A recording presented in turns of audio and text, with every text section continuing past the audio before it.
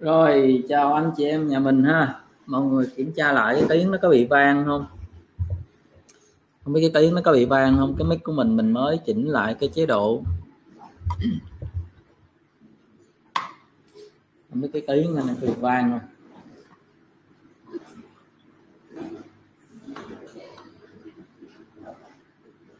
Ok ha. Rồi à, buổi hôm nay à, để ra là cái buổi bên viết cọt á gửi cái lớp bên viết cọt. Nhưng mà uh, mình mình mình mình mình like bên cộng đồng luôn ha. Tại vì muốn uh, chia sẻ một cái góc nhìn cho anh em bên cộng đồng một cái tôi nhìn thấy có một cái cơ hội rất là tốt liên quan đến ờ, uh, crypto cho nên uh, like bên cộng đồng luôn. Rồi chút để tôi pin pin top lên cái. Rồi. Anh làm cộng đồng luôn cho anh em vào anh em nghe nghe về cái nhận định này ha nick ok ha. Rồi ok ok. À, và bữa nay là 29 tháng 8 rồi. Thì từ đây sắp tới chúng ta sẽ có cái dịp nghỉ lễ. Và hiện tại từ 29 cho đến khoảng à, một cây hai cây tháng 9 á, thì tạm thời chúng ta sẽ không có chúng ta sẽ ngưng những cái lịch học nha. Chúng ta sẽ ngưng những cái lịch học mà chúng ta sẽ tập trung à, có thể là sẽ like like bên channel khi giải kèm mấy anh em bắn tỉa. Nếu mà hôm đó hôm đó có sóng mạnh đó có sóng mạnh thì những cái sóng mạnh thì mấy anh Min sẽ sẽ like để nhận định thị trường tranh thủ cho mấy hướng dẫn các bạn định hướng cho mấy anh em mình và cùng cùng khai thác cùng kiếm tiền hôm đó. Ờ, à, từ đây đến 2 tháng 9 thì chúng ta tạm thời chúng ta sẽ không đi theo lịch cũ. À, tại vì cô đang setup một cái lịch mới một cái lịch mới rất là thú vị. Chia cho các anh em admin chia ra kèm các bạn. Và cô muốn là khi mà setup cái lịch mới đó thì các anh em admin sẽ à, Ricky Trading sẽ hỗ trợ các bạn rất là tốt và chia chia cái lịch ra và bạn nào hỗ trợ thì các bạn thả cái bạn nào hỗ trợ tốt mà chia sẻ những cái giúp cho các bạn có những kiến thức và những cái chủ đề mà các bạn đang mong muốn giải đáp những chủ đề mà các bạn đang mong muốn. Thì các bạn ai tham gia thì các bạn vui lòng các bạn thấy thích cái cái thấy quan tâm thì các bạn thả cái icon vô cho mấy bạn admin nha để thông qua đó cô cũng có một cái sự đánh giá là ừ anh em admin bạn nào đang hỗ trợ uh, các bạn rất tốt và nhận được nhiều cái uh, cái icon đánh giá đánh giá tốt. Ha còn đang select lại cái lịch đấy dự kiến là đầu tháng 9 sẽ chạy sẽ bắt đầu. À, thời gian này nhiều bạn cũng đang uh, đang nghỉ lễ. Cho nên thị trường chắc cũng ít người online. Nè. rồi. Ok của hôm nay sẽ muốn chia sẻ thêm cho chia sẻ thêm cho anh em có góc nhìn.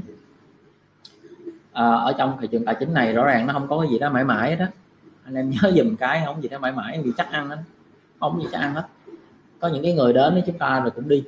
Đúng không? Các bạn xem lại những cái người bạn mà chơi với các bạn ở trong telegram những cái nick chơi với các bạn trong telegram cách đây hai năm ba năm rồi những cái người yêu chúng ta ghét chúng ta rồi cũng đi. Cái này tôi cũng nói nhiều rồi. Cho nên đối với tôi thực ra những cái đó nó không quan trọng nó không có giá trị với tôi. thật sự. Chỉ có những cái người mang tiền cho tôi thì mới có giá trị với tôi thôi, chứ còn cộng đồng đối với tôi thật sự có nói cái xin lỗi là không có giá trị. Cho nên đôi khi thấy mấy ông diễn thì tôi cho mấy ông diễn thôi. Mấy ông không hề biết là trong cái member cái trading nó đầy khắp khắp một các group. Có một số người chụp hình lại cho tôi hay gì đó. Tôi nhìn coi nó cảm ơn em. Anh cập nhật như vậy thôi. Có nghĩa là mình biết họ như thế nào thôi, nhưng mà mình cũng để họ diễn họ diễn đến lúc nào đó mình cảm thấy không còn vui nữa mình cắt vai. Mình cắt vai họ. Cho nên ở bên cộng đồng nhiều bạn sẽ không có hiểu. Có thể nhiều bạn tại vì có những cái góc nhìn của nó các bạn á giống như con cái sẽ không có góc nhìn như cha mẹ nhân viên sẽ không có góc nhìn của những thằng làm chủ. À, cộng đồng cũng sẽ không có góc nhìn với những cái người admin là nhất là nhất là những kênh lớn. Và những admin những kênh lớn đôi khi họ sẽ không có trách nhiệm họ giải thích với các bạn. Nếu mà ai mà quá trình người ta có tư duy tốt người ta sẽ hiểu là những cái hành động của những cái người mà ở một cái ngưỡng nào đó họ làm chắc chắn họ sẽ có cái lý do. Chắc chắn họ sẽ có lý do. Họ cắt cái vai diễn của ai đó phải có lý do.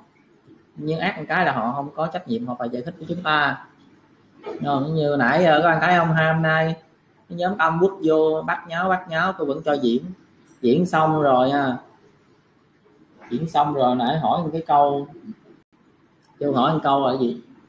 À, à, chúng ta đang có chương trình xô xô xô lãi. Cái hỏi một câu xô lãi bao nhiêu thì nhận thưởng bấy nhiêu mà? Ông ờ, ông quản gia ông còn ông còn trả lời ông nói ừ đúng rồi lên phường nhận. Tôi đọc cái câu đó là đủ mắc kích liền luôn. Để có ý, ý kiến còn cặp gì hết kích. Cô kích xong tôi hỏi ngược lại cái đám tam quốc tụi mày đứa nào ý kiến tao thử một cái? Còn ai ý kiến không? Im ra đéo thấy nào ý kiến hôm qua cậu bay cậu bay sơm tụ lắm đúng không chat vui chơi được. Nhưng có những cái á, không nên nói. Hiểu chưa?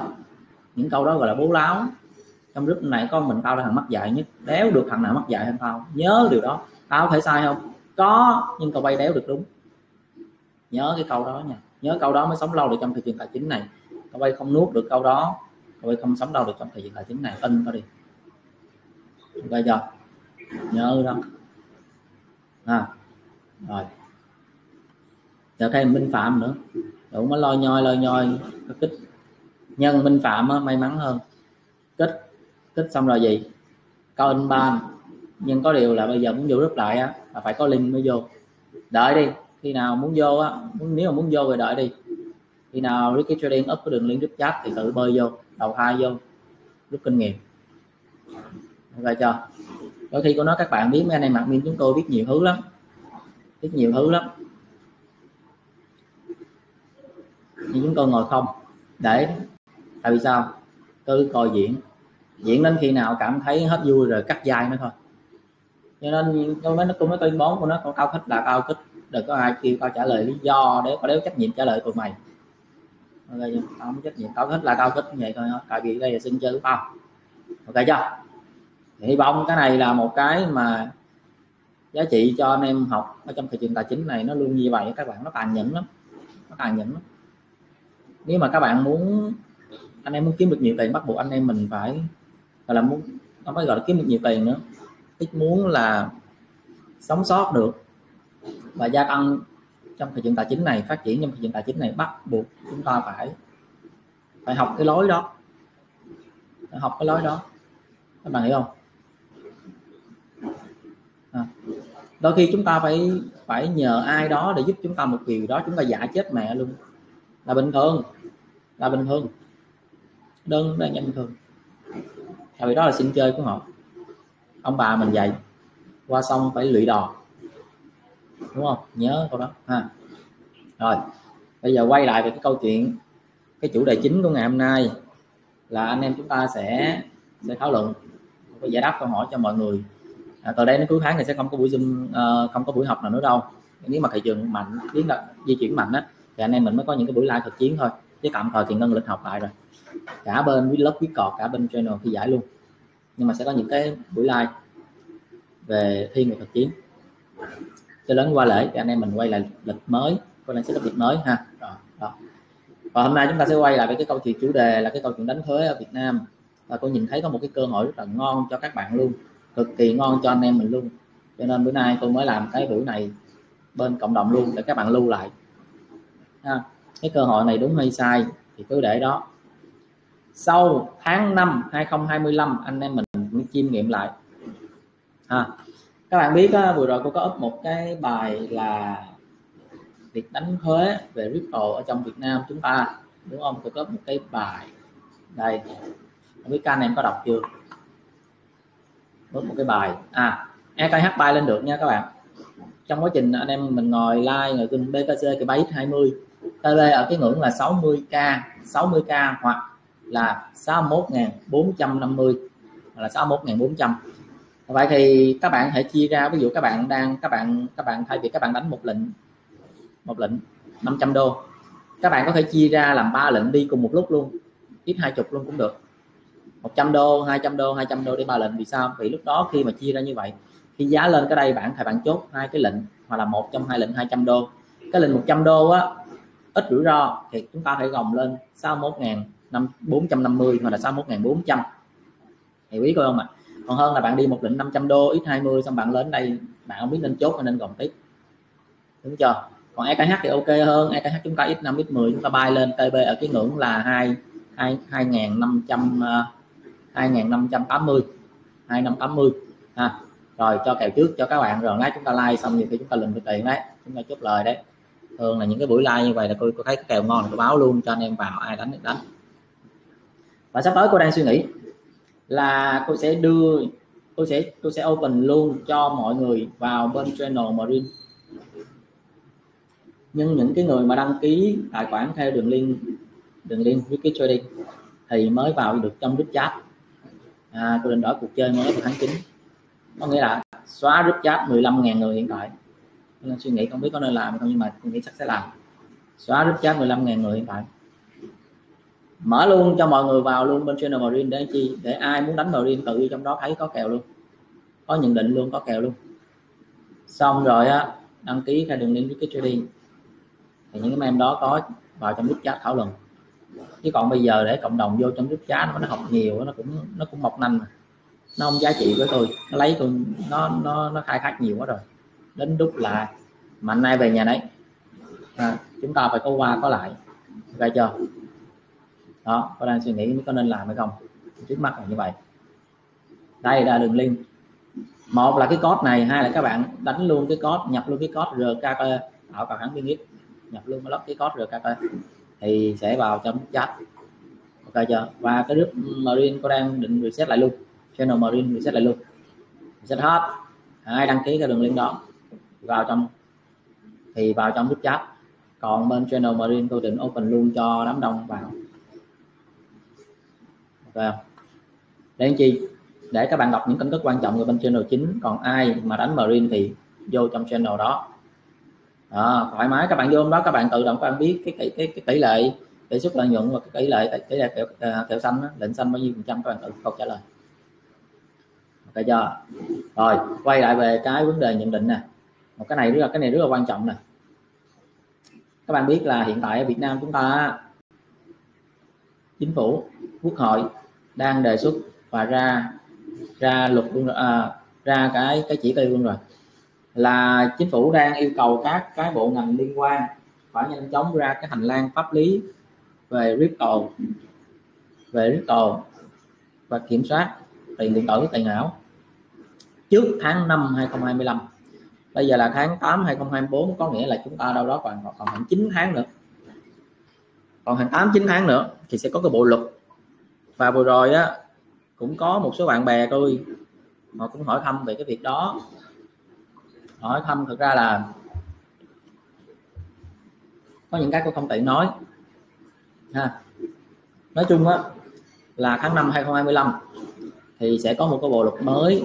Cái luật này chủ yếu là sẽ kiểm soát, tránh cái việc là lừa đảo riết cò các kiểu, mà ngày xưa lừa đảo riết cò nó không có kiện tụng gì được cái đó, không có can thiệp được gì đó nhân. Bây giờ cái lượng nó quá nhiều rồi. Và bây giờ sẽ phải có cái hành lang xử lý cái đó. Cho nên khi mà ra cái câu chuyện mà ra cái luật crypto chúng ta sẽ đặt câu hỏi là cấm hay không cấm? Thì rõ ràng nếu mà cấm thì sẽ sẽ không không có cái nhấn mạnh là, đây, nếu mà cấm thì sẽ không có cái nhấn mạnh này. Trong đó có một yếu tố mà anh em cần lưu ý là nội dung có đề cập cần có tính pháp lý để tránh cái nạn lừa đảo, rửa tiền tức là chính phủ vốn dĩ sẽ không có cấm, hiểu không ạ? Bởi vì cái con số mà vừa rồi chúng ta không thống kê rất nhiều tiền ra vào từ crypto. Nếu những cái giao dịch đó mà được thu thuế, đánh thuế đúng đắn và chính phủ có luật rõ ràng, thì lúc đó chúng ta thu về một cái lượng cái lượng ngân sách rất là lớn. Cho nên đây là một trong những cái thị trường tài chính rất là tốt, cho nên chính phủ sẽ không cấm, nhưng sẽ có cái luật. Và hiện giờ các ban ngành đang tham khảo những cái người có kinh nghiệm ha? Và họ đang đang đang ra những cái luật. Nhưng nhìn chung tôi sẽ nhấn mạnh cho các bạn cho các anh em biết. Và ai tâm lý thì sẽ khai thác được tiền rất nhiều trong thời điểm này. Rất nhiều. Ít nhất tôi nói các bạn là 20 phần trăm gia tăng gia tăng tài sản 20 phần trăm. À, rồi. Và sẽ sớm ra cái luật này. Cái luật này sẽ siết rất là kỹ nhưng nhìn chung xoay xoay quanh đầu tiên là siết về ngân hàng siết về băng và tương lai sau này anh em mình giao dịch crypto, cũng như hiện giờ thôi. Hiện giờ là không có chơi tiền mặt. Nhưng vẫn có tiền mặt mới ít đấy nhưng sắp tới giao dịch crypto sẽ phải chuyển khoản và hình thức chuyển khoản như thế nào để kiểm soát cái giao dịch đó là mua bán USDT ok chưa? Là mua bán USDT rồi, hiện tại đầu tiên thì siết về băng. Mọi cái cách thu thuế tốt nhất truy thu thuế tốt nhất, hay là để truy thu cái vấn đề giao dịch đó là từ rửa tiền, hay là lừa đảo, hay là ai kiện cộng thì nó cứ nắm băng là xong. Nên có chắc chắn các bạn cái đầu ngân hàng này sẽ sẽ siết rất kỹ. Thậm chí bạn mà muốn giao dịch crypto, bạn phải đăng ký với ngân hàng là tài khoản nó giao dịch crypto. Đăng ký. Tại vì bạn không đăng ký được. Không được nhưng mà bị phạt một cái nó quất, nó phạt cho một lần là sợ tới già luôn. Nó phạt cho một lần là là sợ liền luôn. Đó nên sẽ có câu chuyện đó. Chuẩn bị tâm lý trước. Rồi, các bạn nói, bây giờ nếu mà thu thuế thu thu thu thuế bên crypto á, thì anh em mình lỗ có thu hay không? Hay là lời mới thu, lỗ khỏi cần thu? Thì tôi nói các bạn luôn á. Nếu mà nói về công tác quản lý á, không có ai rảnh không có ai rảnh mà cứ ngồi đi đi đợi đi xem bạn lỗ hay là không lỗ. Cái vấn đề là nếu mà còn này bạn lỗ còn một bạn lỗ tuần sau bạn lời vậy thì bạn lời hay lỗ? Nếu mà còn thứ hai bạn lời còn thứ ba bạn thua vậy thì bạn lời hay lỗ? Nếu mà tháng này á, bạn chơi bạn may mắn bạn lời nhưng mà lỡ tháng sau bạn lỗ thì các bạn lời hay lỗ? Công tác quản lý không ai mà đi quản lý kiểu đó đó cho nên tôi nói các bạn đó, nếu cần biết cũng hay lời hay lỗ thu thuế trước cái đã.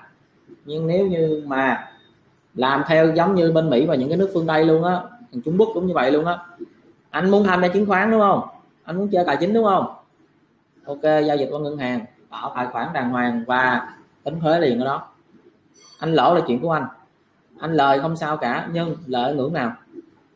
Anh lời ở cái ngưỡng là một ngàn đô, thuế nó khác anh lời ở cái ngưỡng sau 6 tháng hay là một năm hay là một tháng gì đó, tùy tùy cái chu kỳ mà chính phủ luật nó sẽ chốt. Nếu như mà anh lời ở cái ngưỡng mà 5.000 đô 10.000 đô, một triệu đô, thế nó khác. Các anh biết ở Mỹ mà những cái người, những cái tài khoản hay những công ty mà giao dịch tài chính một năm mà lợi nhuận trên một triệu đô, các bạn biết đóng thuế như phần trăm không? Như phần trăm biết không? 37 phần trăm. Cái luật của Biden ra đó, cái năm cái đợt mà nó nó ra nó ra cái câu chuyện là thu thuế ba ai mà có đầu cơ tài chính mà lãi 1 triệu đô trở lên đó, là thu thuế ba 37 phần trăm. Nhớ cái đợt đó biết coi sập bao nhiêu bao nhiêu không? Nhớ việc đợt đó biết coi sập không? Má nó sập nó đợt nó cũng nhớ không lầm là như bảy ngàn giá. Nó rớt năm ngàn mấy bảy ngàn giá cái đợt đó. Hoang mang luôn. Ai còn nhớ cái câu chuyện đó? Ai còn nhớ? Lúc đó tại sao nó tại sao nó sập? Tại vì những cái người mà người ta đang lãi á, người ta đang lãi á, một triệu đô người ta tranh thủ người ta chốt. Tại sao?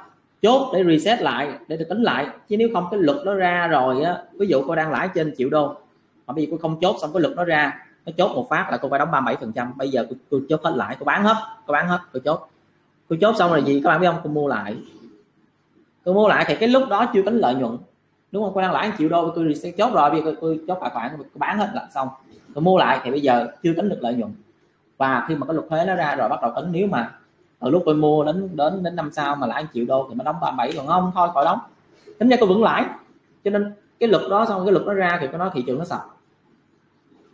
Bạn hiểu không? Hiểu ý nghĩa không? Đó. Cho nên quay về phía Việt Nam thì các bạn phải lưu ý. Đây là tôi nói trước nha, đây là nhận định cá nhân của tôi nha, chứ không có đúng 100 phần trăm nha. Rồi, còn đúng hay không thì thời gian trả lời. Ha ở vì Việt Nam có nhiều cái thú vị lắm. Không có nói lung tung tôi chỉ góc nhìn tôi sao cô nói vậy? Sắp tới đầu tiên tôi nói lại siết về băng là chắc chắn. Cái thứ hai, anh chơi rip anh phải đóng thuế. Lời lỗ không tính không cần biết. Giống như chứng khoán thôi. Giống như anh mở công ty thôi, anh mở công ty phải đóng thuế. Nào nó thuế thu nhập cá nhân gì đó, nó nói cô bay luôn. Mày mở công ty, mày đã đóng thuế rồi. Mày thử mày đóng mày đóng công ty, mày còn phải đóng thêm thuế nữa. Đóng thuế gì? Đóng thuế xóa cái gọi là gì? Đóng công ty.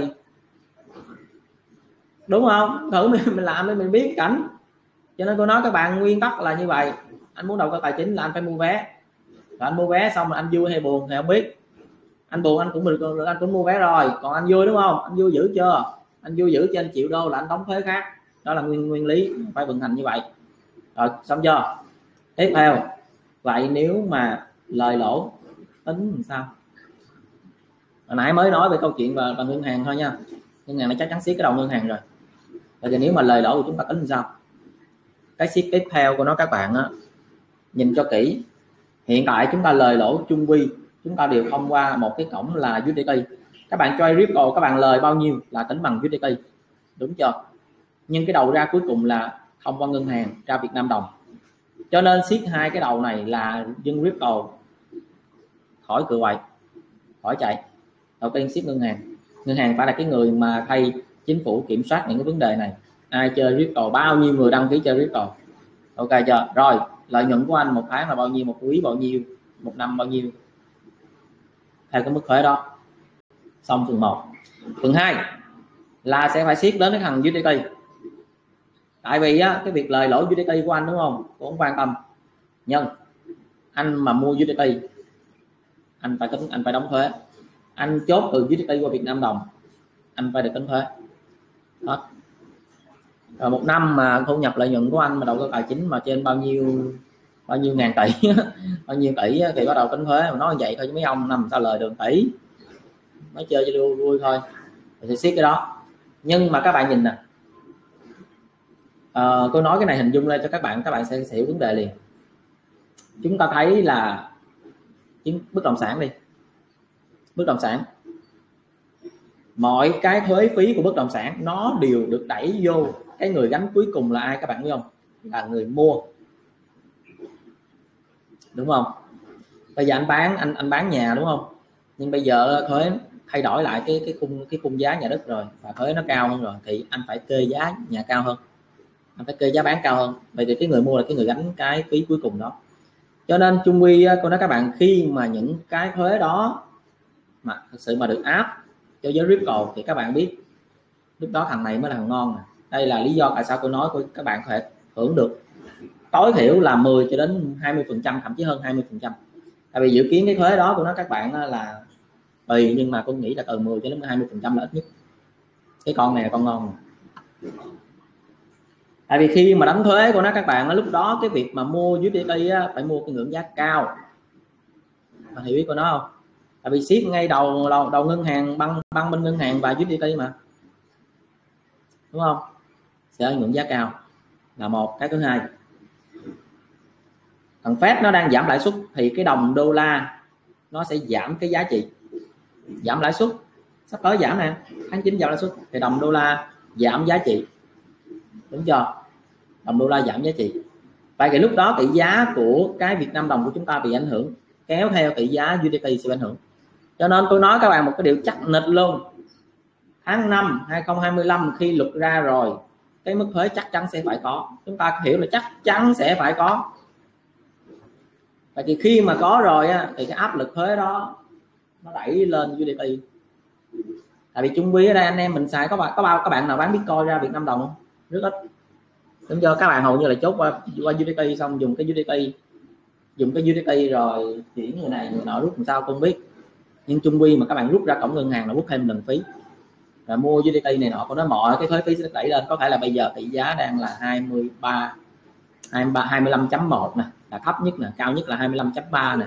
Thì có nói các bạn tương lai chắc chắn phá vỡ 27 là bèo nhất thậm chí cô nghĩ là trên 30 các bạn không có nghe, nghe nhầm đâu tôi nói là trên 30 các bạn cứ tính ví dụ như ờ, như bây giờ tỷ giá đi anh em mình làm một bài toán thử đi nếu mà giả sử áp thuế 20 phần trăm 20 nhiều quá đúng không? 15 thôi 15 phần trăm thôi. Bây giờ 25 25.3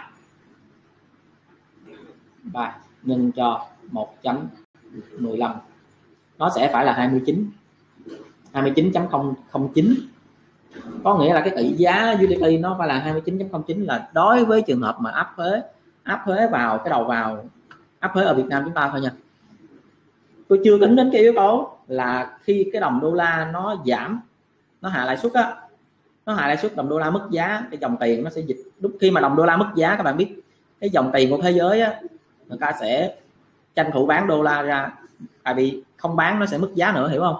Bán ra và dòng tiền đó chảy về một số nơi khác nữa.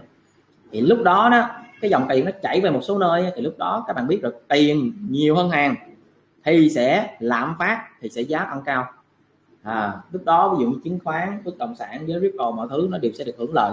Cho nên các bạn thấy tại sao mà khi mà giảm lãi suất á giảm lãi suất á hay là bơm tiền á thì những cái thị trường nó tăng. Vậy nếu như mà mặc định nếu mà Việt Nam chúng ta đánh thuế thì những ai đang giữ USDT người đó ngon. Mấy các bạn giữ các bạn đừng làm con mẹ gì hết sắp tới được 29 được khoảng 15 phần trăm là tất ít nhất đó nha. Nó mà lên hai chục là tôi nói các bạn nhiều khi là vượt 30 chưa kể khi mà sắp tới sau tháng 9 này thằng phép nó giảm lãi suất rồi, thị trường nó lên, thì lúc đó thị trường này FOMO. FOMO là cái lực mua nhiều, lực cầu nhiều. Thì lúc đó nó đẩy giá đô lên nữa. Cho nên cái clip này tôi nói coi rồi tôi cho các bạn một cái tín hiệu và tôi phân tích luôn cho các bạn thấy. Còn bây giờ đúng hay sai để cái clip này lại. Bữa nay ngày 29 tháng 8 29 đúng không? 29 tháng 8 sau tháng 5 luật chơi rõ ràng rồi. Bắt đầu các bạn nhìn cái giá đô nó nhảy hay không nhảy nha vậy thì rõ ràng bây giờ nếu mà chúng ta đầu tư vào GDP chúng ta SL bao nhiêu phần trăm? SL cực kỳ thấp. Nhưng nếu như cái kèo này mà đúng của nó, các bạn, sau tháng 5 2020 2025 mà luật chơi rõ ràng thì nó phải nó lên trên 29 hoặc 30 thì lúc đó. Cái TP anh em mình khá tốt. Rõ ràng cái kèo này nó ngon cả Bitcoin các bạn, bởi vì SL rất ngắn. Làm sao mà anh mua 25 mà bây giờ xuống 24 22 23 cho anh mua được nữa? À sao xuống được nữa?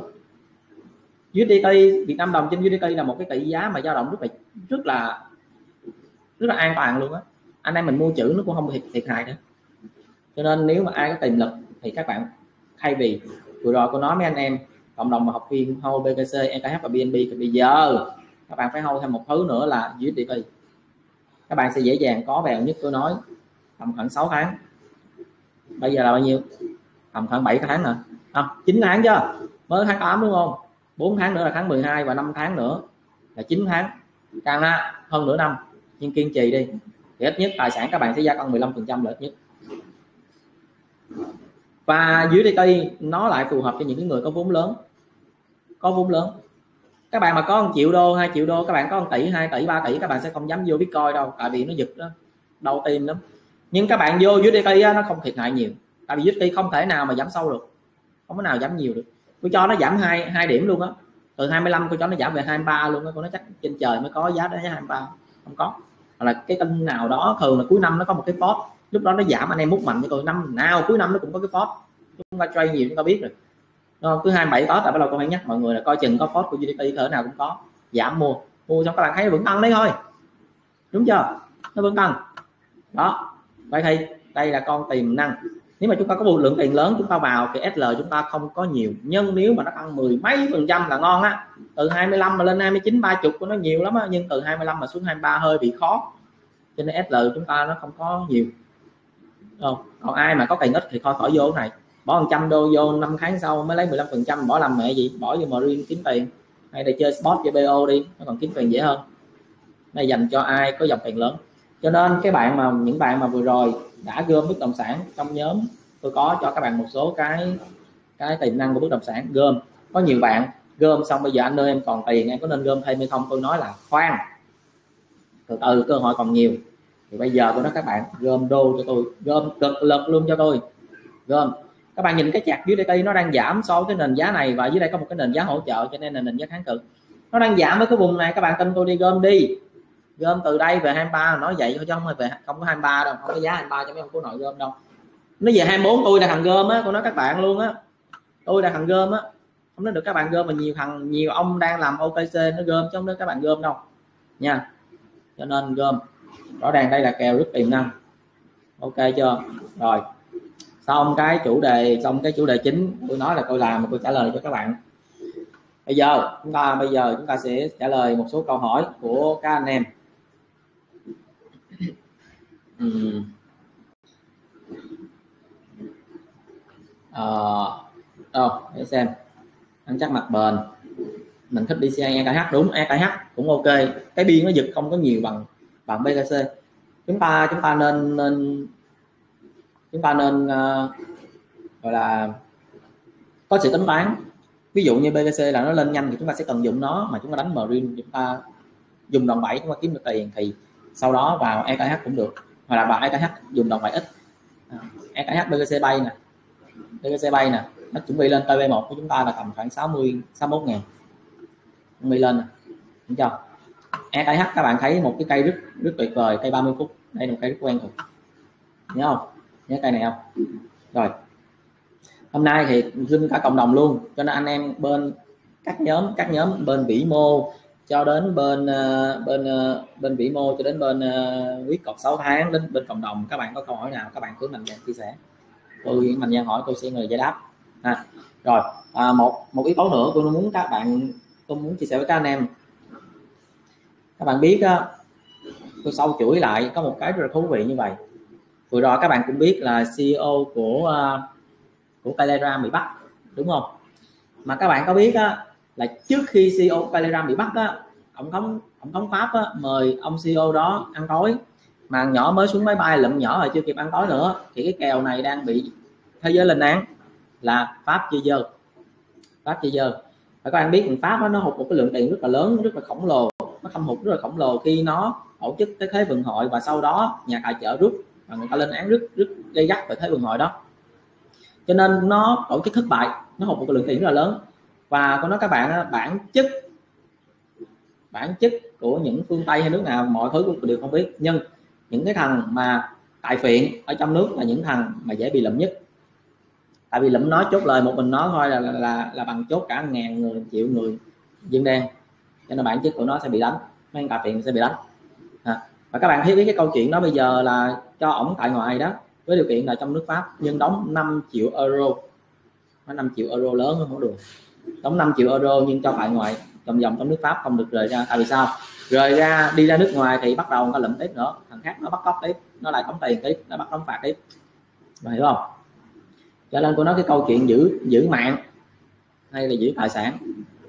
Đầu tiên luôn là cấm xuất cảnh. Hiểu chưa? Đầu tiên luôn là cấm xuất cảnh. Rồi, vậy thì nó liên quan gì? Nó liên quan gì? Rất là quan trọng. Các bạn biết ờ, nó đang, pháp nó đang cáo buộc nó đang cáo buộc CEO của Telegram là không kiểm soát đồng lõa với những cái trang tội phạm dùng Telegram. Tội phạm rồi uh, rửa tiền rồi ờ, uh, thêm xét thì các kiểu đó rất nhiều. Nó đẩy lên đầu của thằng CEO hết lên hết. Nhưng cơ bản đó, các bạn biết nó lại nằm trong cái luật hiến pháp của Hoa Kỳ câu chính án số 1 câu chính án thứ nhất đó, nó là nằm trong đó cho nên các bạn biết cái từ cái câu chuyện mà CEO Telegram bị bắt á, thì những cái thằng chùm đầu sỏ về truyền thông của thế giới nha tầm cỡ thế giới nó đang rất là sợ. Tại vì các bạn biết không nếu mà không giữ được cái luật của câu chính án này á đầu tiên nói lại về câu chính án. Câu chính án số 1 của hiến pháp Hoa Kỳ được thành lập vào năm 1971 thì phải. Năm không năm 1791 năm 1791 câu chính án thứ nhất của Hoa Kỳ được thông qua được được được nghị quyết được gì? Và câu chính án, cái câu chính án của, câu chính án đó, nó có năm cái quyền mà nằm trong cái quyền, cái tuyên ngôn nhân quyền của cái cái cái cái hiến pháp. Năm cái quyền đó là cái gì? Năm cái quyền đó tất cả tất cả các cái nước đều đều đang, đều hầu như là đều đang đang copy, đang dùng cái đó để áp dụng cho nước nước nước sở tại của họ từ cái hiến pháp từ năm 1791 của Mỹ. Cái câu chính án đó nó ghi là cái thứ nhất là tự do ngôn luận, cái thứ hai tự do báo chí, cái thứ ba là tự do tôn giáo, cái số 4 là tự do hội họp hòa bình. Các bạn đọc cái này các bạn thấy giống giống tuyên ngôn độc lập mình không? Đó, cùng cái ý đó. Cái thứ năm là cái quan trọng là quyền kiến nghị chính phủ để giải quyết khiếu nại là năm năm cái yếu tố đó trong cái câu chính án, nằm trong cái phần tuyên ngôn về nhân quyền của Mỹ năm 1791 vậy thì các bạn biết đó, vừa rồi ông các bạn có biết cái vụ là ông ông ông ông CEO ờ, của của của Facebook mới lên làm một cái mới tuyên bố một cái chuyện gây sốc. Ông đó ông nói rằng cái đợt covid ông đó ông ông CEO ông đang bị chính phủ Mỹ ép phải can thiệp về những cái thông tin truyền thông phải gỡ bỏ những cái không không đúng sự thật không đúng sự thật có lợi cho chính phủ Mỹ hoặc là có lợi cho cá nhân. Trong đó nếu những cái không đúng sự thật là về covid nhưng hiện tại chúng ta thừa biết những cái câu chuyện về covid đúng hay là không đến thời điểm này chúng ta tự biết. Cho nên ông facebook ông chủ bên facebook ông rất là lo. Là một cái thứ hai một cái điều nghiêm trọng nữa là có một cái scandal của con trai Biden. Con trai là ông Hunter Biden. Thì chính phủ chính phủ cái thời mà Biden đó, có can thiệp vào ép là Facebook phải tháo những cái thông tin đó không đúng sự thật thì lúc đó cả giám đốc CIA cũng cảnh báo luôn Facebook là phải tháo cái đó nếu không là sẽ gánh trách nhiệm. Và ông ông ông ông Facebook đó ông ông chủ Facebook đó đã tháo xuống. Nhưng các bạn biết không trước khi tháo xuống thì ổng đã gửi những thông tin đó cho những cái bộ tư pháp để đi kiểm kiểm tra lại về cái tính đúng đắn của thông tin đó và ông nhận được một cái phản hồi. Tại vì á, ông Biden ông lấy cái lý do là phía Nga đang khai thác cái thông tin đó để làm mất uy tín chính phủ. Thì khi mà họ kiểm họ kiểm định lại thì những thông tin đó không đó những thông tin đó hoàn toàn là có căn cứ. Hoàn toàn là có căn cứ. Vậy thì lúc đó ông CEO của của Facebook, tại sao bây giờ ông dám công bố cái câu chuyện đó? Bởi vì nó rất nguy hiểm đối với ông chúng ta không biết là chúng ta sẽ không, chúng ta không hiểu sâu, chúng ta sẽ không biết là tại sao ông phải làm điều này thời điểm này. Bởi vì nếu mà bây giờ ông Biden ông đi xuống rồi á, cái thời ông Biden thì thì ông ông ông CEO Facebook phải nghe theo ông Biden. Ông làm ông cầm cờ mà. Nhưng nếu như bây giờ Biden mà xuống mà bà Kamala Kamala Harris mà không lên được hay là ông Trump lên thì lúc đó CEO của của Facebook sẽ rất là mệt. Tại vì cái hành vi mà chính phủ can thiệp vô và Facebook á, không cho những cái, không cho những thông tin up lên, nó dính đến cái tu chính án thứ nhất. Đó là cái quyền thứ nhất là tự do ngôn luận. Có nghĩa là người ta tự do ngôn luận mà anh tháo chúng ta xuống. Đúng không? Cái thứ hai, chính phủ của thời kỳ Biden đang dính một cái là tự do báo chí không can thiệp vô Facebook là tự do, là là không cho tự, có tự do báo chí. Các bạn hiểu không? Tôi nói các bạn, cái tuyên ngôn nhân quyền này nó nó quan trọng lắm không có đùa. Các vì cái tuyên ngôn nhân quyền này có nhiều cái quốc gia mà không thỏa năm cái điều kiện trên nên nó ép đủ thứ, nó không công nhận. Đó tôi chia sẻ cho các anh em hiểu. Cho nên, tại sao ông CEO của Facebook ông phải lên tiếng ông nói về ông phải lên tiếng ông nói về cái này để ông gì? Ông muốn là những cái hàng đầu bự khác như ông Elon Musk về truyền thông nè. Và không qua cái câu chuyện mà CEO của CEO của Telegram bị bắt giữ là ông, sau đó là ông ông CEO Facebook, ông lên ông nói. Thì ông muốn biết, ông muốn cho mọi người thấy là cái quyền tự do báo chí của những cái người, những cái những cái truyền thông lớn nó đang bị bị bị chính phủ can thiệp, đang bị ảnh hưởng. Nếu không lên tiếng là lúc đó theo ông theo ông A nhiệm kỳ nhiệm kỳ 4 năm, đến ông B đến ông B lên là ông buộc ông buộc lại thì cỡ nào mấy thằng truyền thông này cũng sẽ chết. À, tôi cho các bạn thấy sau khi ông CEO của Facebook ông lên tiếng thì lúc đó Elon Musk có đăng một cái hình. Tự do tự do tự do. Cái hình này à không cái hình này là sau khi CEO của của Telegram bị bắt. Và các bạn biết CEO CEO Telegram bị bắt Telegram nó liên quan nhiều thứ chứ không phải chỉ tài chính mình đâu các bạn. Nó đưa ra rất nhiều cái sự thật từ cuộc chiến tranh rồi tham ô gì đó nó khui đầy đủ hết. Cho nên cái khối Ả Rập á khối UAE á khối Ả Rập á tại vì ông CEO của Telegram á ông có cái quốc tịch của khối khối Ả Rập khu, uh, khu ờ, uh, khối Ả Rập UAE ông có cái quốc tịch của Pháp luôn. À, đó. Cho nên cái khối đó nó rất muốn nó không muốn hủy cái Telegram nó phải muốn duy trì Telegram mà không muốn bị ảnh hưởng bởi Telegram. Mà nó muốn Telegram không phải kiểm soát mấy cái kia nữa. Cho nên nó vừa rồi nó khủng bố nữa. Nó ra uy hiếp cho bên thằng Pháp là phải có phải phải thả ông. Rồi ông edomos ông thấy câu chuyện này ông mới đăng ba cái chuyện này tự do tự do tự do. Đây. Ông ghi cái này. Instagram gặp vấn đề rất là lớn với việc bóc lột trẻ em nhưng uh, Zuckerberg không bắt vì không bị bắt vì ông ấy bị khuất phục bởi sự kiểm duyệt tự do ngôn luận và cho phép chính phủ truy cập vào dữ liệu người dùng. Ông nhấn mạnh hai cái này là dính đến hiến pháp. À, cho nên sắp tới của nó các bạn á, tương lai sắp tới sẽ là một cái cuộc chiến giữa các cái ông chủ truyền thông với chính phủ.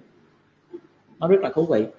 Mà Elon Musk rất là khôn lanh. Bây giờ mình mình xem cái này mình mới hiểu là tại sao Elon Musk á, một hai ủng hộ ông Donald Trump lên là tại vì ông Donald Trump là nạn nhân của cái truyền thông. Truyền thông nó dập nó dập ổng. Nên khi mà ông Trung lên á, là bắt đầu ông xử mấy cái vụ đó. Elon Musk rất là khôn khi mà nghiêng nghiêng về phía của ông Donald Trump. Ok ha rồi.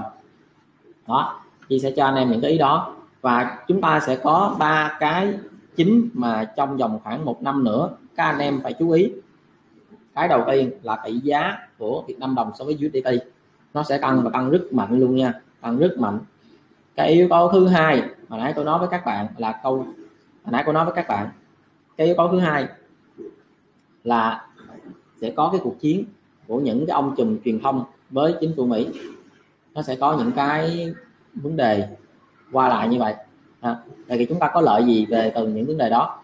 Chúng ta có lợi gì từ những cái vấn đề đó khai thác nó như thế nào? À, khi mà có cái có cái xung đột nó xảy ra nếu mà nó nghiêng về phía Trump á thì sẽ rất là tốt. Rất là tốt còn nếu mà nghiêng về cái phía mà đảng đảng dân chủ á thì sẽ rất là mệt. À, đó. Rồi tiếp theo cái yếu thứ ba là rất cận kề tháng 9 sẽ là chu kỳ giảm lãi suất đồng giá trị đồng đô la nó giảm thì lúc đó thị trường nó sẽ đi lên. Mọi thứ nó đi lên. Cho nên anh em chú ý những cái vấn đề đó. À, rồi à, có bạn số lãi nè. 128 ok. Vậy thì bạn này hiện đang là đứng top. Hiện top 1 bằng 128 tại vì chúng ta có một cái chương trình là anh em đăng ký tài khoản theo đường link cái trading của BinX trong group chat. Thì mỗi ngày BinX tài trợ 20 USDT cho ai show được cái lợi nhuận cao nhất. Cho ai show được cái lợi nhuận cao nhất. X5 ủa x6 hả? SKH ờ lịch sử nha. Phải show lịch sử giao dịch nha. Show lịch sử giao dịch nha. Rồi. Có nhiều ông vô cứ nhìn TB không à. Không có nhìn SL vô tự nhiên cái show của sàn khác rồi kêu biên ít nó nó tặng 20 đô được không? Các bạn nghĩ biên ít có tặng không? Nhiều ông nhiều ông bó tay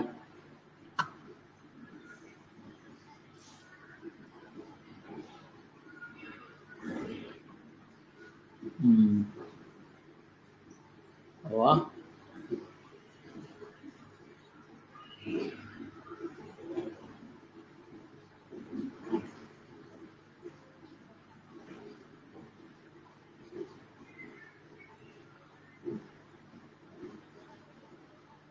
Ok rồi. À, để xem câu hỏi nào nữa trả lời cho anh em ha. Ok ha.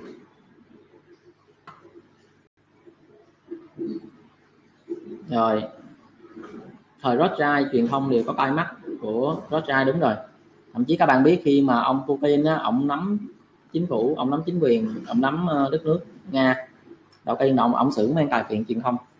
Ông luôn muốn kiểm soát truyền thông phải theo theo hướng của của ông định hướng.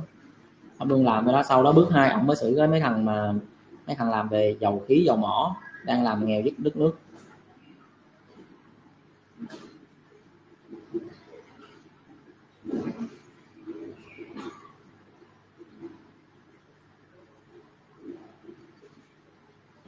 Rồi.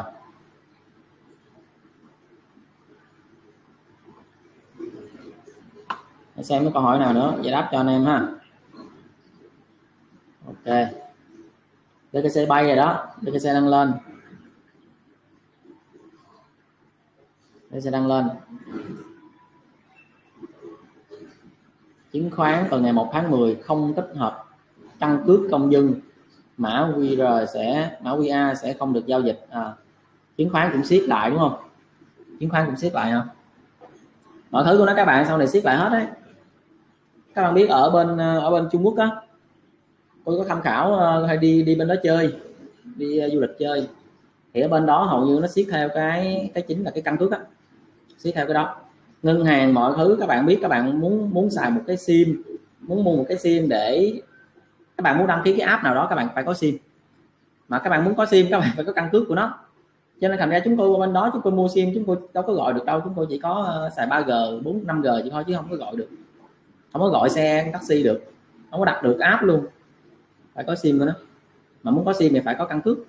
Cho nên mọi thứ, ship từ từ ngân hàng, tài khoản, tất cả các kiểu phải căn cước hết. Bán UTP về băng thì vẫn sẽ bị đóng thuế cơ bản theo theo cô được biết thì hầu như á, tham gia Ripple là phải đăng ký. Xong rồi những cái giao dịch về Ripple á, sẽ có cái cách để để kiểm soát để anh em mà có mua bán USDT hay là chơi chơi chơi Ripple phát về Việt Nam đồng là phải rõ ràng. Nó như vậy theo cô được biết là như vậy. Nhưng mà trong cái hại có cái lợi thì khi mà như vậy cũng tốt bởi vì lúc đó các bạn sẽ không có lo là mấy thành phần mà scam tiền các bạn. Ví dụ như vừa rồi á, bên bên xin capital nó lừa nó lừa một chị uh, phụ nữ mới sinh con 500 đô đó rồi bà đã bạn nhắn tôi đó. Mà có nói các bạn sau này mà nó nó đưa ví dụ các bạn chuyển bằng USDT là gì là xong rồi. Là không có ra đúng không? Nhưng nếu mà chuyển bằng Việt Nam đồng là xong hết. À. hoặc là những cái sàn mà đang hoạt động ở Việt Nam sẽ phải hỗ phải phải phối hợp với chính phủ. Ví dụ có thể truy từ sàn tài khoản nó của sàn nào của sàn nào đang chuyển đi của tài của user nào đang chuyển ở sàn nào đang chuyển đi thì những sàn đó mà phối hợp với chính phủ nó lòi ra hết. Cho nên khi mà có cái việc mà kiện cáo gì đó con cái của nó chỉ cần sàn nó phối hợp với chính phủ nước sở tại nó chuyên một phát một là ra. À, ra. Và cô nói mấy hàng này đúng không lừa mấy tiền mà phụ nữ sinh con bắt bỏ tù mẹ nó nhốt nó hai ba năm nhốt để cho nó khôn ra. Nên làm như vậy tôi nghĩ là nên làm như vậy chứ nó rip cầu nó scam nó làm đủ kiểu đủ trò đủ trò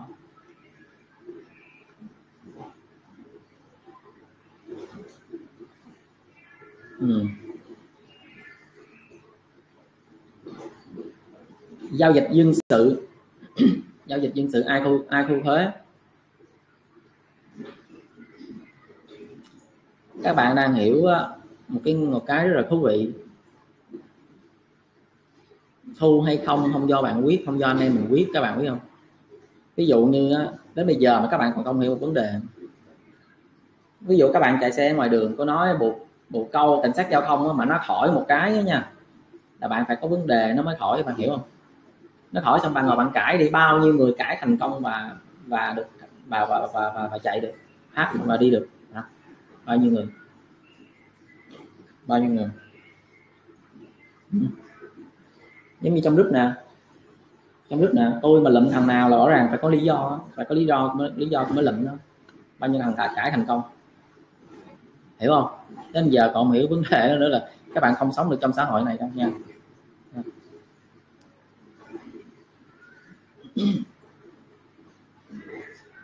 Vậy, vậy, vậy bây giờ mua giá thấp khi luật ra đánh thuế thì bán giá cao là không đáng kể không hẳn. Bây giờ gom như vậy sau này cái cái thuế đó, đó cái phí đó đó nó sẽ đẩy vô đầu cuối cùng. Đầu cuối cùng là end user đầu cuối cùng.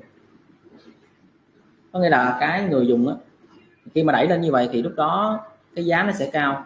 Cho nên ví dụ như khi mà bạn mà, mà có mua ai mà có mua cái giá 29 á 29 hay 30 hay trên 30 đó thì mặc định đã có thuế phí trên đó rồi. Ví dụ bạn đi mua một căn nhà căn nhà bây giờ đang 3 tỷ tự nhiên đó, đóng thuế này nọ lên 4 tỷ năm bốn tỷ rưỡi nó bán bằng 4 tỷ rưỡi thì tất là gì? Tức là đã có tính thuế trên đó rồi hết.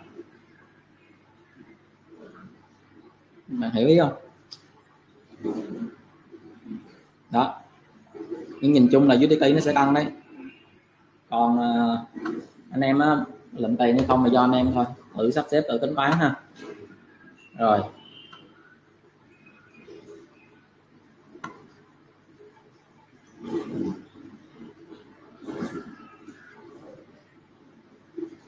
Giống như mua xe có tính tiền giá lăn bánh đồ nữa là cũng y chang giống vậy y chang vậy. Có nhiều cái cách lắm, nhưng nhìn chung là cái đó phải thu thuế.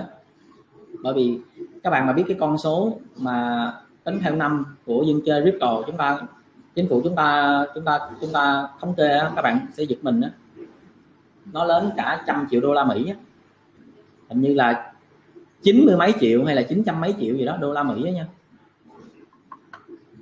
Hơi bị nhiều á đâu đúng không? Ờ. Hình như chín mươi mấy triệu chín triệu chín mấy triệu gì đó. Vừa rồi tôi mới đọc trên báo mà cô tôi, tôi lướt qua tôi cô không để 90 tỷ hả? 90 tỷ đô hay 90 tỷ Việt Nam đồng? Đợt, đợt vừa rồi như cái trang VN Express nó có đăng mà tôi đọc lướt qua tôi chỉ nhớ chín mấy à. 90 tỷ USD á hả? Ủa mấy 90 tỷ USD là kinh lắm á nha mấy ông cố nội. 90 tỷ đô là nhiều lắm á.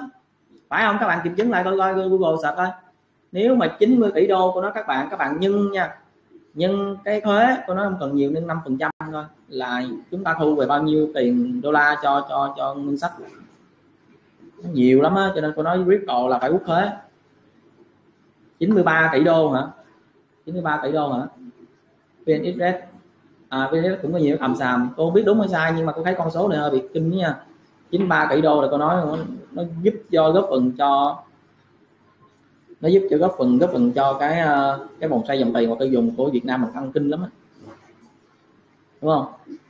Các bạn thấy dân cầu nó mua nhà, mua xe không? Tăng tiêu dùng rồi còn gì nữa không?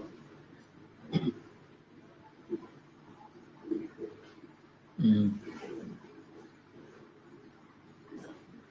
đúng rồi, có bạn nói về, em có xem clip vĩ mô, có nghe thầy nói, lãi suất về không thì các các thị trường sẽ lên rất là nhanh.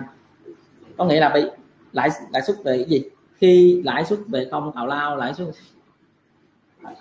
không hiểu, mấy ông có nội này xem. Lãi suất hay là lạm phát? Lạm phát thì không thể nào về không rồi đó. Lãi suất sao về không được? Lãi suất nó phải luôn cao, cái lãi suất nó phải luôn cao hơn lạm phát. Các bạn nhớ nha, lãi suất phải luôn cao hơn lạm phát. Tại vì sao? Ví dụ nha, lạm phát là 5 phần trăm, thì lãi suất của bạn phải trên 5 phần trăm. Lãi suất ngân hàng phải trên 5 phần trăm, vì sao? Các bạn biết vì sao tại vì nếu mà lãi suất á, mà nó thấp hơn lạm phát á, ta gửi tiền ngân hàng làm con mẹ gì ta giữ tiền nó hay hơn không hiểu ý câu đó không? Gửi tiền cho ngân hàng thì cái lãi suất nó phải cao hơn lạm phát sau một năm. Nếu mà lãi suất á, mà nó thấp hơn lạm phát sau một năm thì người ta giữ tiền. Người ta mắc gì gửi ngân hàng? Hả? cho nên lãi suất nó phải cao hơn. Và cái tiến trình mà khi mà cần phép nó đang tăng lãi suất nó ngừng tăng nó ngừng tăng. Bắt đầu nó chuyển sang giảm. Cái câu chuyện đang tăng lãi suất nó ngừng tăng và chuyển sang giảm đó là suy yếu. Nó sẽ phải lúc đó cái dòng tiền nó bắt đầu nó sẽ chuyển động. Nó chuyển động. Nhưng khi mà cái lạm phát á, cái lạm nhưng khi cái lạm cái cái chỉ số lạm phát á, mà nó về cái ngưỡng khoảng một khoảng hai phần trăm á là ổn định rồi á. Là ổn định rồi á. Các bạn thấy không ạ? à? Mà nếu mà nền kinh tế nó không có phát triển mạnh nữa nó vẫn không khỏe có nghĩa là lạm phát nó về cái mức ổn định rồi nó không cao nữa mà nền kinh tế vẫn tỷ lệ thất nghiệp gia tăng uh, hay là suy thoái chẳng hạn các kiểu. Đúng chưa? Bây giờ bây giờ nó hạ lãi suất nó hạ lãi suất nó hạ đến nó hạ lãi suất và nó kéo lạm phát về cái ngưỡng ổn định mà nền kinh tế vẫn không khỏe vẫn yếu vẫn có nhiều thất nghiệp thì lúc đó sẽ có một câu chuyện xảy ra nữa. Lúc đó nó sẽ bơm tiền phải nhớ một điều chính phủ bơm tiền. Khi có một cái biến cố ví dụ như covid là bơm tiền chiến tranh dịch bệnh khủng hoảng kinh tế thì mới bơm tiền. Và khi mà bơm tiền vô thì có nói các bạn á lúc đó nền kinh tế nó vực dậy tiền nó tràn lan ra thì lúc đó những thị trường tài chính nó sẽ tăng nó sẽ tăng. À, anh em nhớ cái yếu tố đó. Rồi. Tiền luôn không ở đâu đánh thuế ở đó đúng rồi. Chính xác. Đây theo thống kê của ờ, uh, Wall Street Journal chỉ trong một tháng các nhà đầu tư Việt Nam giao dịch khoảng 20 tỷ đô trên sàn. Tiền số lớn nhất là Binance và hình thức tích hợp giao dịch hợp đồng tương lai future 90 phần trăm. Con số này chiếm 5 phần trăm trong tổng khối lượng giao dịch toàn cầu của Binance á có nghĩa là Việt Nam mình đã chiếm 5 phần trăm trong tổng cái khối lượng giao dịch toàn cầu của Binance là hơi bị gớm đó nha. Nè có bài trích dẫn. Cho nên tôi nói sắp tới tôi định dẹp cái group chat. Tại vì sao? Group chat có nhiều cái rất là giá trị mà tôi nghĩ chỉ nên mở cho anh em marine thôi. Cộng đồng ờ, dẹp mẹ nó đi. Nó có giá trị mình dẹp nó đi. Cái gì có qua có lại. Không có rồi thôi dẹp. Ngắt ok ha. Rồi à, để xem có câu hỏi nào nữa. Tôi trả lời cho anh em Việt Nam cung đồng bảy to nên mới ra khối lượng nhiều như vậy. Đúng rồi. Việt Nam đánh đồng bảy hơi bị kinh. Mà còn mấy ông còn mấy ông đánh còn bảy lớn không à? Rồi. Ok, bây giờ BKC đang lên, sắp lên email này. Email à, 200 của 30 phút. À mở 4 giờ ngó xem. 4 giờ có một cái cản rất là mạnh mà nãy giờ quên xem. Đây, các bạn phải chốt ở cái vùng 61 ngàn. Thậm chí chốt trước cái vùng 61 ngàn là 60 ngàn 950 900 gì đó. Đây là cái vùng mà EMA 89 và 200 tụ lại thì đây là một cái vùng rất là cản rất là mạnh khó mà kỳ vọng lên 62 ngàn. Cái vùng này muốn phá nó cả nó phải có một cái lực mua mạnh như vậy là các bạn nó mới thọt lên được, nó phá lên được. Cho nên chúng ta sẽ có một cái vùng ở đây là đâu đó khoảng EMA 200 mà chạy đi nha. Ở đây là nó cho EMA 610 à, đúng không? Ở giữa 200 và 610 nhưng mà tốt nhất anh em mình nên bỏ chạy khi mà lên EMA 200 sau đó quan sát, nó bứt phá mạnh lên rồi anh em mình mới bay sau. Còn nó không bứt phá mạnh mà nó rớt xuống thì anh em mình sell. Và sell thì có ăn được một cái biên độ dưới này thôi. Cho nên khi mà đến cái vùng hỗ trợ mạnh, kháng cự mạnh thắng rất mạnh thì anh em mình ôm tiền chạy trước. Không cần biết là phe nào đang thắng, phe nào đang thua. Ok ha. Rồi. Mà sau khi có nói các bạn, sau khi cái luật Việt Nam á, luật crypto kiểm soát crypto Việt Nam mà mà ok rồi có nói các bạn á thị trường á dưng chơi crypto á, tại rất là đông thị trường Việt Nam rất là đông. Nó sẽ vào. Mặc dù giá cao nhưng dần dần sẽ sẽ chấp nhận, nó giống như xăng á. Xăng các bạn cứ than cứ than là cao cao cao, cuối cùng cũng phải xài thôi. Cũng phải xài thôi. Cũng phải chấp nhận nó thôi đúng không? Ok chưa? Rồi ha, để xem mấy câu hỏi nào nữa có giải đáp cho anh em. Đây, báo tuổi trẻ đăng, tiền mã hóa vào Việt Nam đến 120 tỷ đô. Trời mẹ ơi. Báo tuổi trẻ đăng nè.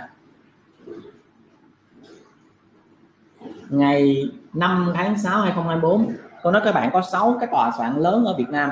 Đây là những tòa soạn chính thống 6 tòa soạn lớn mà mà ai mà hiểu cái này nó thú vị nè. Một khi mà sáu tòa soạn này mà đồng loạt lên bài liên tục nha, lên bài đánh liên tục nha, là hiểu rồi đó. Là hiểu ý nhà cái rồi đó, hiểu không? Tuổi trẻ nè, lên google sợ sáu tòa soạn chính thống, sáu tòa soạn lớn. Những cái tòa soạn này mà lên bài đánh liên tục là ờ, xong rồi đó, bài có cái gì đó nha. Họ mới lên bài cô đố ông, cô đố ông lên bài bên tuổi trẻ được á. Không có đơn giản đâu. Bữa thầy có chia sẻ là ở đâu đó Trung Quốc bán bán bất động sản lại tăng giá để đóng thuế nhiều cho chưa hiểu ý bạn. Nói gì? Đúng là đánh thuế tức là cho phép chơi và sẽ có cái luật chơi để kiểm soát giúp cho người dân không bị lừa, ha. Ừ. ok.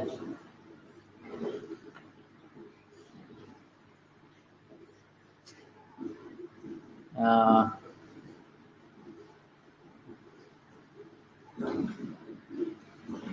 rồi. Anh em mình xem câu hỏi nào nữa. Quên nãy giờ còn không không xem mấy cái chat bên bên bên bên kia. Không biết mấy anh em có hỏi gì không? À ok. Rồi. Cũng tuần đó rồi. Rồi xem mấy câu hỏi nào nữa không? Không mà chúng ta chắc tạm ngưng sớm. À, mình sẽ không uh, like nhiều mình sẽ làm những clip ngắn ngắn như vậy để anh em dễ xem. Ok ha, anh em xem có câu hỏi nào nữa? BTC thì tốt nhất là anh em mình chạy trước ở ờ, 60.900 đi. Ha, chạy trước 6.900 tại vì 4 giờ có cản mạnh quá, cho nên sẽ không kỳ vọng lên 61 hay là 62 được nữa, phải đợi thôi. Ha. Ừ. đúng rồi. Rồi, anh em mình xem mấy câu hỏi nào nữa thì giải đáp cho mọi người, không thì chúng ta tạm ngưng ở đây ha. Ờ, à, 29 rồi bữa nay 29 rồi. Chúc anh em nghỉ lễ. À, mình thì mình cũng không có đi đâu mình cũng online suốt. Cho nên ờ, nếu mà thị trường có sống thì mình sẽ có thể là sẽ like cùng với mọi người để để đánh để tỉa. À. các bạn nói theo thầy sớm lụm được vàng nhẫn giờ ngon rồi nay lập đỉnh. Vàng nhẫn bây giờ các bạn thấy giá nó đâu không thua gì bạn SGC nó đâu. Vừa rồi lụm vàng nhẫn cả đóng. mà tôi nói nè nhớ một điều khi mà giảm lãi suất, ok chưa? Bắt buộc phải giảm lãi suất. Nếu mà không giảm lãi suất, thì cái nợ chính phủ Mỹ nó phải trả theo phần trăm với lãi suất cao, cho nên phải giảm. Rồi là cái thứ nhất, nó phải giảm. Cái thứ hai, chắc chắn một cái điều, dù có tăng lãi suất hay giảm lãi suất, tôi không biết, nhưng in thêm tiền để cho để cho cái nguồn ngân sách của chính phủ Mỹ duy trì, có nghĩa là nâng chừng nợ công của Mỹ là phải có thì khi mà nâng chừng nợ công của Mỹ nhất là chính phủ mới mà lên là sẽ phải xin tiền. Và rất các bạn thấy bầu cử không? Bây giờ bầu cử bầu cử xong có kết quả ăn cái bắt đầu có đội nhóm mới lên. Cái nội cái, cái nội các mới lên đó tân quan tân chính sách đó, cái nội nhóm mới lên thì nó sẽ phải ép là phải duyệt một cái ngân sách. Mà duyệt cái đó là phép là in tiền. Tiền nó đi đâu? Tiền nằm trong chính phủ hả? Nó vô chính phủ nhân từ chính phủ nó tràn ra bên ngoài mua bán làm gì đó nó tràn ra mà nó ăn cung tiền mà nó ăn cung tiền thì có nói những cái sản phẩm tài, sản phẩm tài chính có cái giá trị, có cái giá trị nha, lâu dài. Ví dụ như vàng, bất động sản, thì cái đó sẽ tăng. Bây giờ bitcoin cũng như vậy nữa. Đó BTC EKH DNB hầu hết ba con đó sẽ tăng. Còn những con coi khác thì chưa biết nha các bạn. Ha, và đừng có kỳ vọng như nó. Chúng ta mua, chúng ta phải mua là đầu tư giá trị. Ok chưa? Hãy cho nhận định về tỷ giá USDT số Việt Nam đồng khi Fed hạ lãi suất. Đơn giản lắm. Fed hạ lãi suất thì đồng đô la có giá hay mất giá? Đồng đô la có giá mất giá? Đó Fed hạ lãi suất thì đồng đô la mất giá. Vậy nếu mà đồng đô la mất giá mà tỷ giá cho mà Việt Nam nó đang đứng yên thôi thì các bạn suy nghĩ xem tỷ giá sẽ tăng hay giảm. Ừ? nó đơn giản mà. Không cần học vĩ mô gì luôn á. Các bạn nhìn nhìn thấy cặp tỷ giá mà Việt Nam đồng trên USD hay USD trên Việt Nam đồng các bạn nhìn các bạn nhìn cặp tỷ giá nó như phân số rồi đó các bạn suy nghĩ suy ngẫm nó cũng ra mà đâu cần cái gì cao xíu đó đúng không? Và quên. Tiếp tục gom vàng. Nhưng bây giờ gom rất khó rồi. Nhưng cô nói các bạn nó chỉ khó một cái giai đoạn thôi. Nó chỉ khó một cái giai đoạn thôi.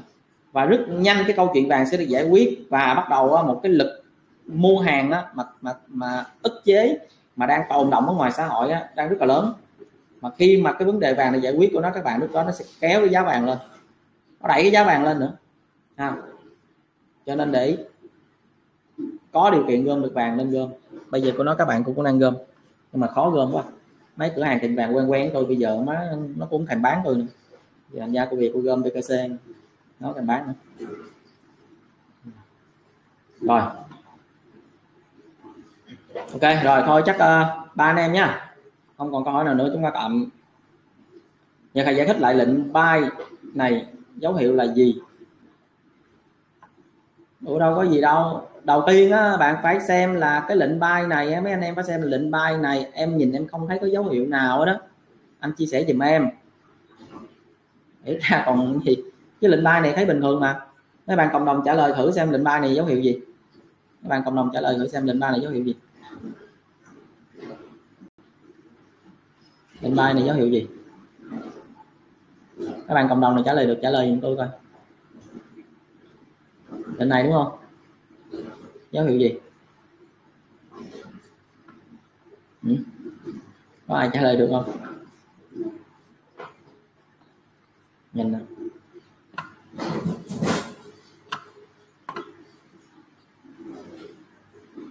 đâu rồi. Ở vùng này đúng không? Cái này là gì? Cái này là gì? Cái này học chưa? Nè, anh em nhớ không? Cái bài này rất quen thuộc luôn. Phun lực. Một cây dấu hiệu đảo chiều. Thì nó trả phun lực về lên đây lại thôi. Nó trả phun lực về lên đây. Có đánh dấu này là màu vàng nha. Màu đỏ đi. Màu xanh đi. Nó màu xanh này sáng hơn nè. Tôi đánh dấu này là phun lực đi. Nó một cây đỏ, một cây đó có nhiều đảo chiều thì nó trả phun lực về vậy bay cái vùng này. Cái vùng này có phải là cái vùng mà mà mình bay ở đây xong mình chốt ở đây không? Anh em mình chốt ở đây không? Đúng chưa? Nhớ nhớ bài không?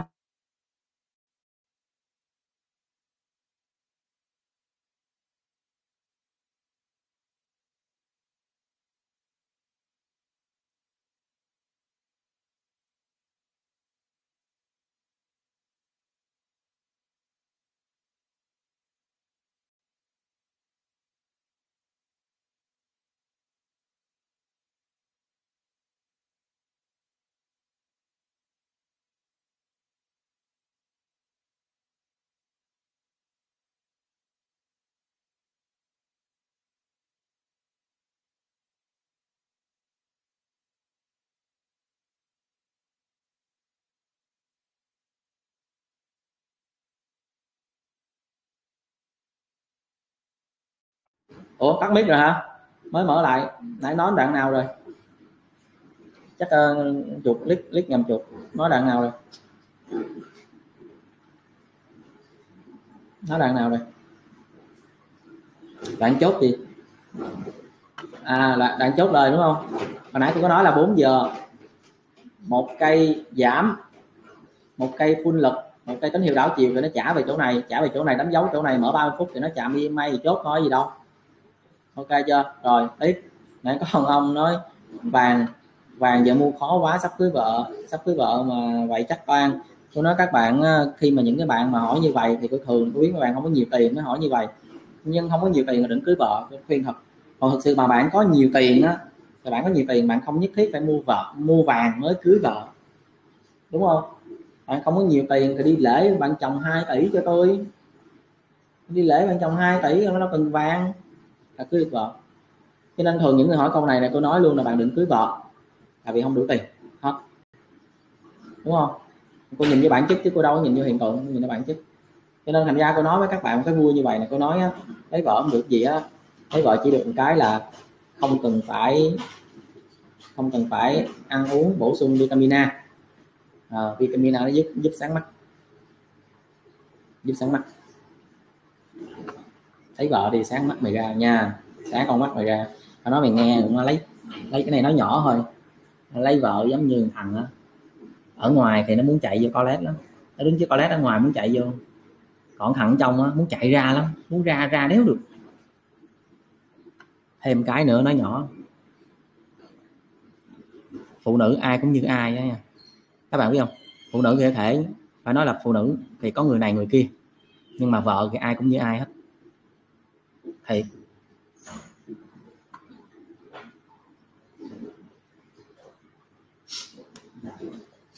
đúng không? Con nói đúng không? Ở đây bao nhiêu ông nói đúng, bao nhiêu thấy đúng câu số 1 thôi.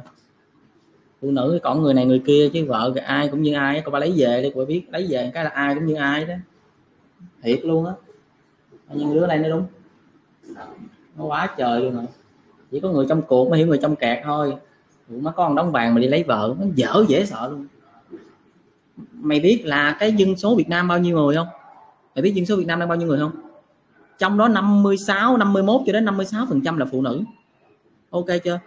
Mày thấy cái lượng phụ nữ ở Việt Nam, cái lượng phụ nữ và con gái Việt Nam nó đông quá trời đông. Trong cái Bitcoin chỉ có 21 triệu đồng thôi. Mày không đi mua Bitcoin, mày có vàng mày không mua Bitcoin, mày đi lấy vợ. Thì cái này nó nhỏ thôi.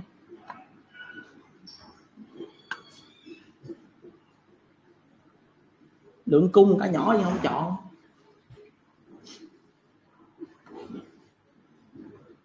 Rồi thôi thôi má thấy mấy này trả lời ghê quá nguy hiểm vậy ta. À, like like chia sẻ kiến thức cho tụi nó mà áp lực dễ sợ luôn. Ghi âm rồi trời mẹ ơi. Thôi vậy cái nghỉ nghỉ nghỉ. Bà nhau có câu hỏi nào nữa nghỉ đi nghỉ đi. À, căng áp lực quá. Không được. Để tay lên đây đi hồi thế nào cũng chạm mà. Thôi giải tán nha ba anh em nhá bye.